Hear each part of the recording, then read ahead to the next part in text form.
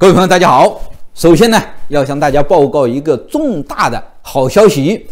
就是在二十分钟之前，美国参议院全票通过了《香港人权和民主法案》。这个消息啊，可以说是反送中运动开始以来这五个多月当中最大的一个好消息。为什么这么说呢？因为现在世界上啊最强大的一个国家。最大的一个经济体，具有最大的军事和政治实力的这样的一个国家，和香港人民站到了一起，以他们法案的形式，以国内法的形式，确定了美国政府必须得支持香港人民的抗争，必须得支持香港的自由和民主。所以这是一个天大的好消息。那他们怎么支持呢？这个法案里面内容啊，已经规定了。那首先就是啊，每年美国的国务卿。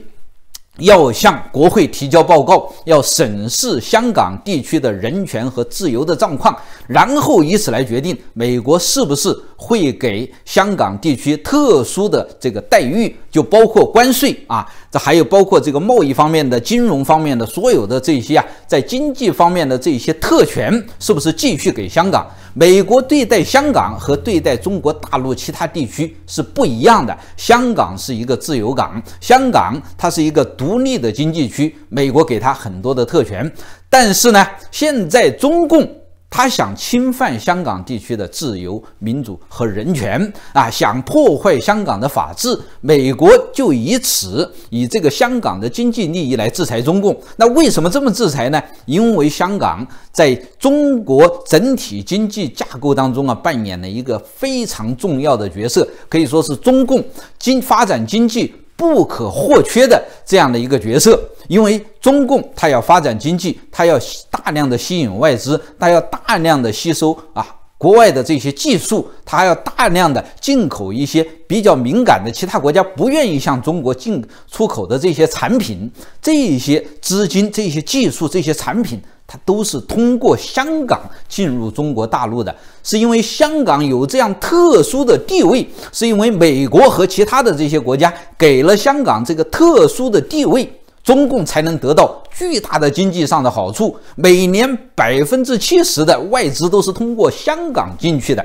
如果香港失去了这个特殊的地位，如果美国不给香港这个特殊的地位，那么香港的这个金融中心、这个贸易中心啊。地位就不在了，那么中共就从香港得不到好处了。所以说啊，这看似啊对于香港经济不利，实际上是在惩罚中共，是在呀给中共敲一个警钟。如果你们继续在香港啊破坏人权法治，那么你们就不要从香港，不要想从香港得到任何经济上的好处，这就是在制裁中共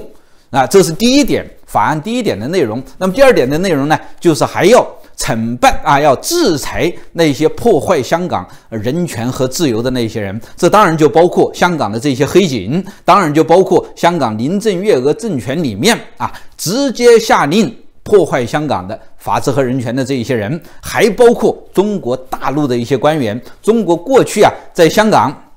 他们曾经多次在香港掳走了人啊，把他们抓到大陆去进行关押、去进行审判啊，这在美国的这一份法律当中、法案当中啊，也是不能接受的。而实施这一些恶行的人，他们都要受到美国的制裁，包括不给他们签证、不让他们进入美国，包括冻结他们在美国的财产，包括啊他们的家属啊、子女都有可能呐被美国驱逐，那财产可能被没收，这都是啊。法案的内容，那么还有一项重要的内容呢，就是直接支持这些香港为自由和人权而抗争的这些人士，他们可能被香港政府判罪，甚至是可能呢被中国政府判罪。那么这些人呢，美国政府啊，美国这份法案要求美国政府必须得保持一份呢这个活跃人士的名单，让他们知道谁是因为参与这些抗争而受到迫害的啊。这些人呢，他们随时都可以进入美国，美国政府有义务帮助他们进入美国去工作、去学习、去定居、去获得政治庇护。同时呢，法案也要求美国政府要和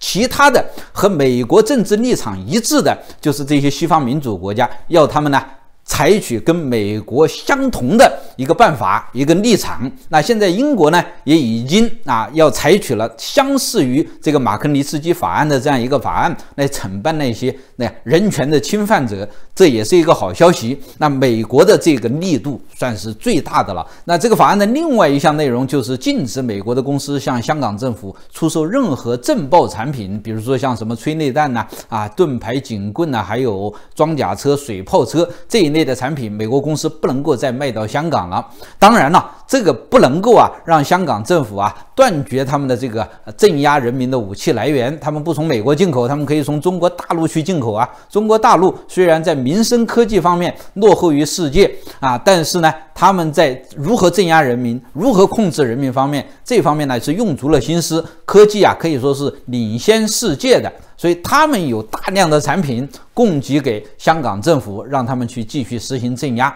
美国人之所以要在法案当中加这一条，是想告诉大家，美国人他们呢不能够用利益。来交换价值，不能够为了赚钱而去昧着良心，不能够啊为了做生意而去为虎作伥。所以这一份文件呢，它既有实际的阻吓中共在香港实施暴政的作用，同时呢，它也有一个价值的宣示。所以两方面都齐全了，非常好的一份法案。这份法案出来，我相信呢，中共啊内部又得乱一阵子。说到中共这个内部乱啊，现在啊还真是够乱的。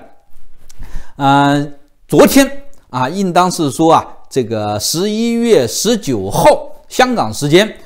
香港有一个啊建制派的大佬叫做曾玉成，他进到香港理工大学，就是现在啊还在继续进行抗争的那个校园。进到大学之后啊，他带出了。一百个年轻人，那他在进校园之前呢，和警方做了一些协调。那么警方呢，看在他这个建制派大佬的这个份上啊，给了他一个面子，说这些年轻人我们不即刻实行抓捕，但是要登记。所以他带出来的这一百个左右的年轻人呢，大部分是十八岁以下的，那么他们都进行了登记。这批年轻人暂时现在啊没有受到迫害，但是呢。不能保证今后警方不对他们进行追诉，不对他们进行检控，不对他们呢进行酷刑虐待。所以这批年轻人暂时安全，但是不会是永久安全的。希望大家继续关注。那么还有另外一百个年轻人，他们可以说是香港勇武派当中的勇武派，是香港最勇敢的这样一批人。他们誓死要坚守那个地区，他们呢要和警察拼到底。我们希望呢，希望呢这个事件呢。能够和平的收场，希望啊，今后这个警方在他们的抓捕过程当中不要过分的使用暴力。这一百个年轻人啊，他们怎么能够敌得过两千如狼似虎的装备精良的、训练有素的这些香港警察啊？这些飞虎队、这些速龙小队、这些震爆警察，怎么能敌得过他们？最后最不抓捕的这个命运一定是难以避免的。但是呢，我们希望。不要出现人员的伤亡，大家都为此来祈祷。那我们回头再来说一说曾玉成这个人，这个人呢是非常非常啊有意思的一个人，他是香港建制派，也就是清宫派的绝对的大佬啊，他是建制派最大的政党民建联的创党主席，也当过一届还是两届的香港立法会的主席，资格非常的老啊，在香港建制派里面可以说是啊举足轻重的这种人物。那在这一次反送中运动当中呢，他的表现有点特别，他和林郑月娥，以至于甚至是和党中央啊态度都有一点不一致，而且呢还经常把这一种不一致啊。表达出来，比如说啊，前一段时间他在接受采访的时候啊，他就说啊，这一次反送中运动之所以闹到这么大，那这是啊，香港政府、林郑月娥政府啊，甚至是更高一层政府，他们这个举措失当、决策失当造成的，因为太不了解香港的人心了。他说啊。过去要通过二十三条立法，香港老百姓呢都如此坚决地进行反抗。那你这次这个反送中条例比以前的二十三条立法有过之而无不及，香港民主派能够接受吗？香港市民能够接受吗？一定会群起而反抗的。他说刚开始就不应当有，那后来呢？他又说了。如果是啊，如果是啊，当及时的撤销这个条例啊，及时撤销条例，那么运动也不会发展到这么大。那发展到这么大之后啊，现在已经很难下台了。那唯一下台的方法，他说他建议过的就是啊，要成立独立调查委员会调查这个警方实施法律的过程当中过度使用武力的情况。他说这是唯一的。双方可以达成共识的，有可能达成共识的，其他的地方都达不成共识。比如说，要全面放这个啊，放弃对这些参与者的检控。他说啊，这个即使是民主派的有一些人，他们可能都自己都知道达不成这个协议的，达不成这种共识的。那如果是还有另外一条，就是这个五大诉求里面的另外一条，就是要啊实现双普选。他说啊，这个是中共啊党中央啊还有这个。建制派也是绝对不能够接受的，所以现在唯一能够达成共识的一点，也是啊能够最大限度的平息民愤的一点，就是成立独立调查委员会。但是这一点呢，居然也被林郑月娥给拒绝了啊！他这个林郑月娥说啊，如果是我们啊去成立独立调查委员会，就会遭到整个警界的反对。而他又说了，实际上啊，警察绝大多数人。并不反对的。他说他做过调查，绝大部分的基层警察并不反对的，因为啊，他们也想通过这个独立调查委员会给自己还一个清白。现在香港的警察大家都叫黑警，所有的警察他们内心都会感到耻辱。但是呢，现在不是所有香港警察都是黑警，大家记住了。香港警察一共有三万人，真正的黑警，那些在镇压过程当中过度使用武力、实行暴力的那些人呢，只有三千人左右。绝大多数人，他们还是白警，他们还是啊有警察的操守的这一部分人呢，现在做了夹心饼干，这一部分人相当相当的不满，他们实际上是想成立独立调查委员会的，所以希望香港民主派的朋友，希望香港市民一定要记住这一点，现在呀要大规模的向警察进行攻心战，让绝大多数的那些啊香港的白警。站到香港市民的一边，要求成立独立调查委员会，这样呢，就把那些恶警、那些黑警、那些只是黑警进行暴力镇压的高层的官员，把他们孤立起来，那么这个运动得胜的机会就更大了。所以，这个曾玉成啊，透露了重要的消息，他不仅仅是对林郑月娥，他还呀对习近平，他说啊，自从一九一二二零一二年以后。整个对于香港的政策就失当了啊！以前呢是搞统战，二零一二年以后啊就不统战了，把所有提出反对意见的人都当成是敌人。统战呢就是要把那些中间派，甚至是把敌人把他们统过来。他说现在呀都只统自己人，任何有意见的就把他们呢推到敌对阵营的一方，所以造成了现在的这种局面。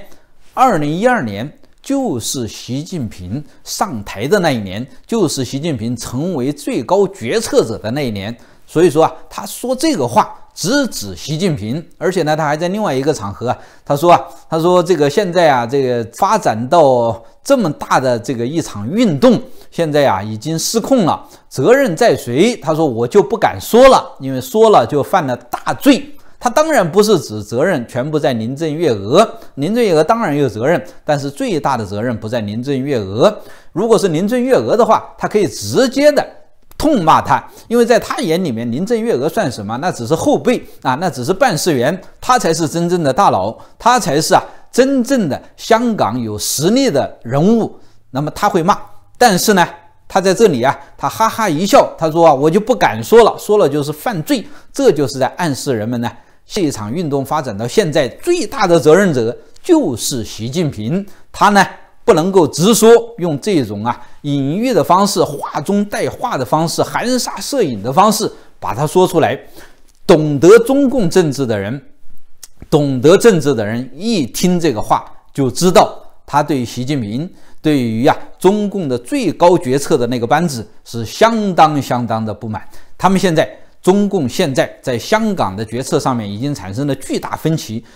曾玉成之所以敢公开的这样对林郑月娥等对习近平，就是因为他背后有人，他背后那个人物，那不会啊，他的影响力不会比习近平小多少，以至于习近平不得不对他忌惮几分，不能够啊对曾玉成那来下手来惩办他。现在这就说明呢，中共党内在香港问题上面。分歧非常大，说明中共党内有很多人对于习近平啊控制香港、治理香港的这一套策略、这一套政策啊，相当的不以为然。那最后他们也会找到一个机会来跟习近平呢来算一算账啊。当年朱镕基就说过：“谁把香港搞乱了，那就是民族罪人，那就是历史罪人。”香港在回归中共之后二十二年之后，居然就被习近平。搞得乱七八糟，好好的一颗东方明珠，现在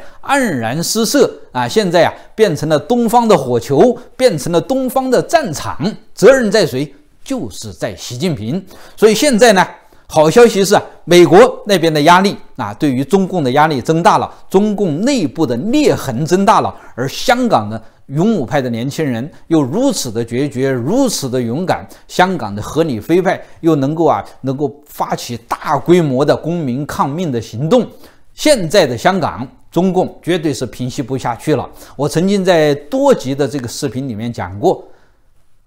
自由人要想让他们呢重新回到奴役状态，这是绝对不可能的。宁死而不屈。不自由勿宁死，这就是一个自由国家、自由人民的他们的这个一种态度。现在啊，香港回到了中共啊这个统治之下，他们本来以为一国两制可以呀，能够给他们一些自由的空间。现在中共要想把这个一国两制拿回去，中共习近平啊。